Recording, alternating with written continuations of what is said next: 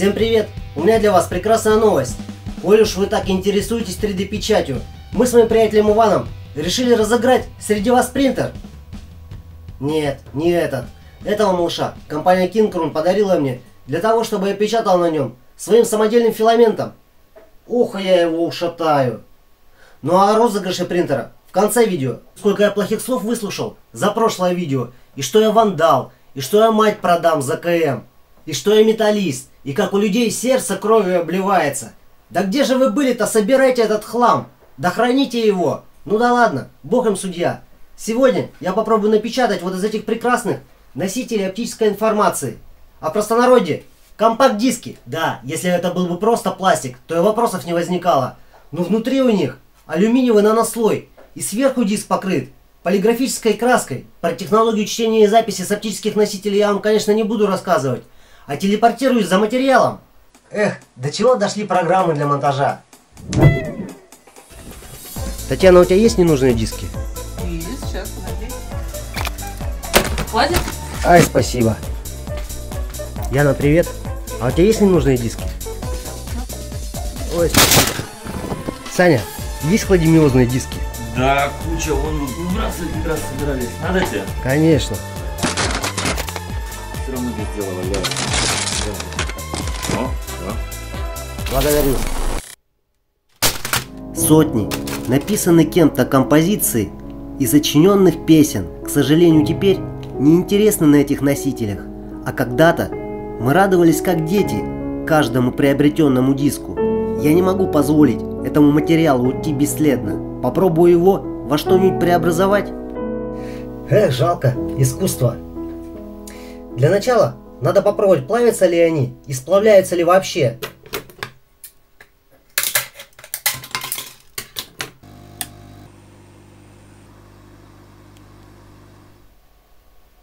Вот материал-то рабочий.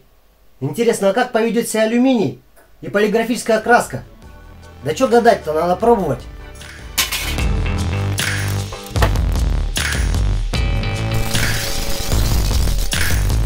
Материал оказался, но очень податливый к измельчению. Если вы смотрели другие видео, то видели, что после этого измельчителя мне приходилось еще час работать бокорезами. В этом же случае диски просто ломаются сами. При измельчении материал разлетался по всей лаборатории, так что пришлось потратить немало времени на уборку. Руки до сих пор блестят и отмыть не могу. Интересный материал, как конфетти с Нового года. Протягивать филамент я сегодня буду на китайце, так как мой бомж-экструдер разобран для другого эксперимента. Я взялся за один утопический и сомневаюсь, что удачный эксперимент по получению чего-то похожего на синтепон из пластиковых пэт-бутылок. Что-то, конечно, получается, но больше похоже на волосы одного богатого, знаменитого президента. Далее я попытаюсь сделать что-то похожее на них, чтобы из этого материала мне попробовали связать какую-нибудь вещь. Поставлю композицию, которая была записана на одном из этих дисков.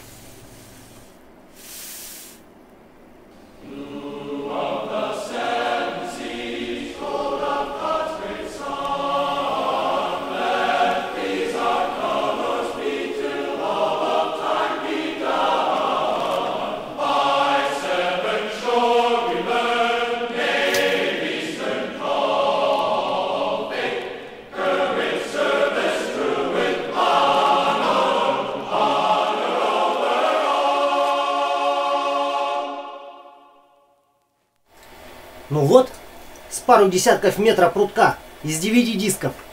Что только не делали из них, но еще никто не печатал. Сейчас замерю и приступим к печати. Филамент оказался относительно стабильным. Да, конечно, плавает немножко, но я думаю, это вообще не беда.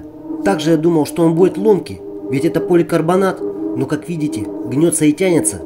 Очень прекрасно.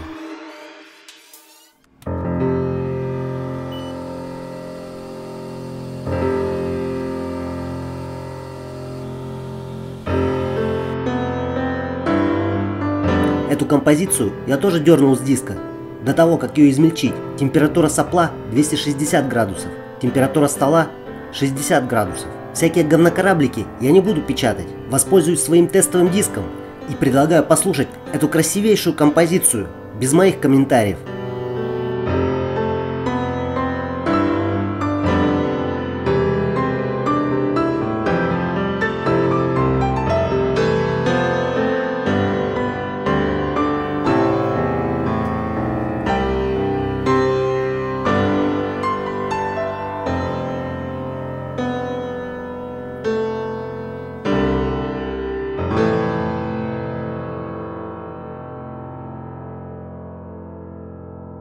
Ну а теперь ваш любимый тест.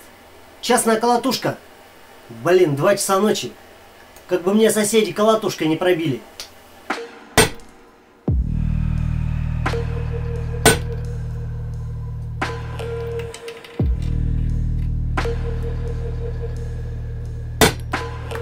Деталька целая, 50% заполнение. Стены 0,8 мм. Также мне показалось, что она тяжелее других напечатанных тестовых дисков. Вот этот диск напечатан хипс из моего прошлого видео Бомж Экструдер. А вот этот напечатан из упаковочной ленты. Скоро я планирую выпустить видео по этой ленте. А вот и красавец напечатан из DVD дисков. Все тестовые диски с 50% заполнением. Толщина стен 0,8 мм. Но он оказался тяжелее своих братьев. Я вечно голову ломаю. Ну что ж такое умное и практичное можно отпечатать? Советуйте, что можно напечатать из испытуемых вторичных полимеров? Примерно 10-15 сантиметров. И не хлам какой-нибудь, как советуют, например, напечатать дискошар для танцев. Зачем из мусора печатать мусор? Солнечный пластик, я бы хотел назвать этот полимер. Он очень красиво переливается и блестит. К сожалению, камера не передает всей красоты напечатанной детали.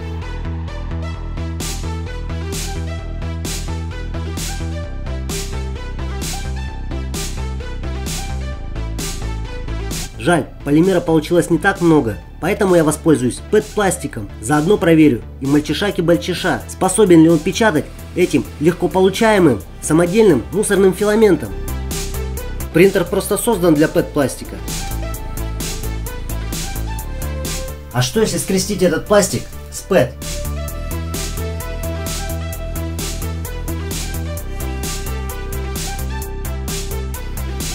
Слои ПЭТ и поликарбоната отлично спеклись, да и температура печати у них примерно одинаковая. Посмотрите на эту детальку, но очень красивая. К сожалению, я ее не заснял, так как она генерировалась ночью.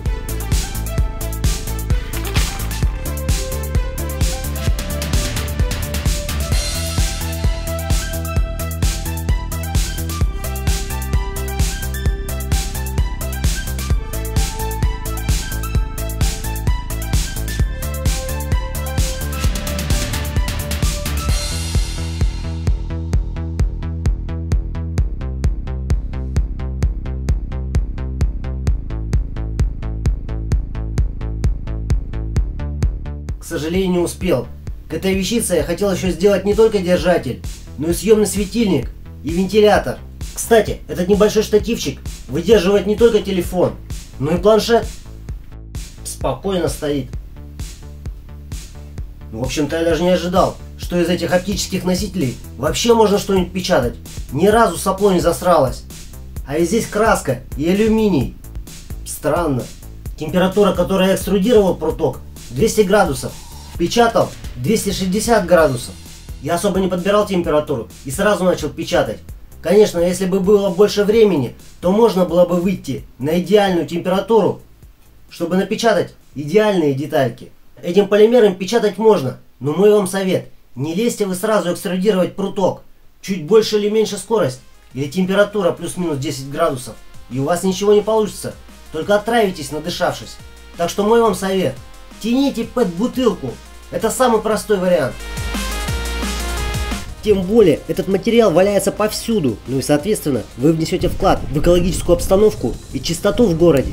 Материал обрабатывается очень легко. Достаточно ровно порезать и протянуть через нагревательный блок. Конечно, тут есть свои нюансы, но все-таки это намного проще, чем экструдировать филамент в домашних условиях. А сейчас пару слов вот об этом мальчишеке-бальчише. Показалось себя отлично, сопло ни разу не засралось, да и глюка ни разу не было. Единственное, я убил полностью стол. Конечно же стол не рассчитан на такие температуры. Буржуи привыкли печатать ПЛА. Вот я убил стол, подняв до 100 градусов. Ну а в общем-то я доволен.